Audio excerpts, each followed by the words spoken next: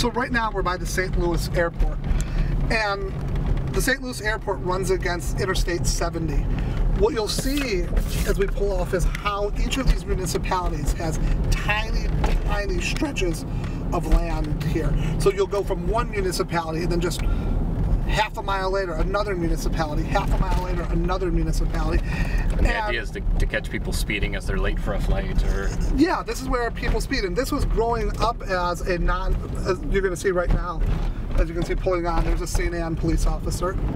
There's a St. Ann police car right there. And if you look right here to the right, you're gonna see we were just less than a minute ago in St. Ann, now we're in Bridgeton. And as we move up, you're going to see that each of these municipalities just gets a little stretch of land, and that makes a lot of revenue for these towns. Look right here, right here on the left. You just got somebody Jesus, else. Was, three of them. Somebody else was pulled over. Look. look over. Look on the right side of here. So that's St. Ann right now. But notice we just pulled into Bridgeton. Okay. Now we've got. Let's see what police officer this is. That is. I don't know. It's not marked. That's St. Ann also. So that. I mean, yeah, I don't want to say we were lucky, but that's amazing. That shows exactly what happens. That we're technically in Bridgeton right now, according to the sign. Three St. Ann officers, we just saw four in a span of a minute. You know, everything from I've seen a kid get arrested for having saggy pants to seatbelt violations and the hundreds of dollars that you'll see in fines that come up from each of these.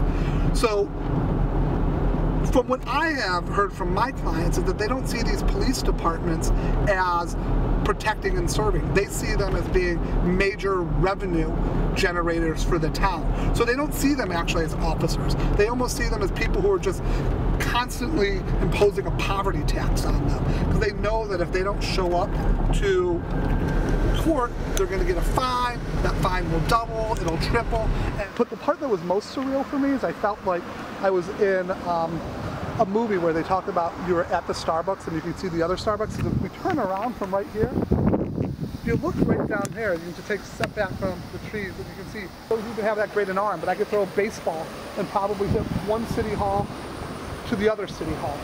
Um, and I think that that's pretty emblematic of how many different tiny municipalities we have. And this is going to begin a roughly 10 mile stretch where there are about 16 different municipalities. Almost every one of them has its own police force and its own courthouse where they uh, collect violations of municipal ordinances, uh, fines and court costs stemming from that. And as you can see, there isn't a whole lot to Edmundson.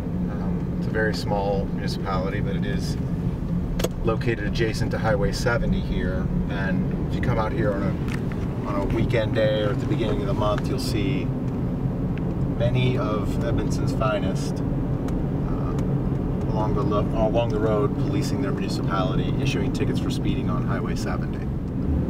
It's not uncommon for one of our clients to have tickets in eight or ten different municipalities at one time, with three to five charges in each municipality.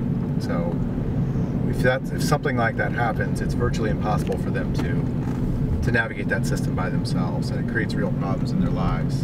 And if they miss a court date, then right, warrant goes out for the rest. That's the right. fine goes up. Exactly, and it's additional. It's an additional charge. The failure to appear is an additional charge. A person, an indigent person driving through here would be subject to potentially 16 different jurisdictions if they were driving from St. Ann to the city of St. Louis. And if they've got, um, if their car hasn't been registered, they can be pulled over for, in theory, 16 different times for that, uh, for that violation.